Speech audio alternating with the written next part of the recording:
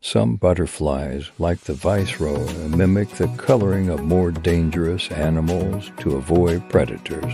Butterflies have compound eyes which allow them to see a wide range of colors, including ultraviolet light, which humans can't see. Butterflies are cold-blooded and need the sun to warm up. They can often be seen basking in the sun with their wings spread out. There are over 17,500 identified species of butterflies worldwide.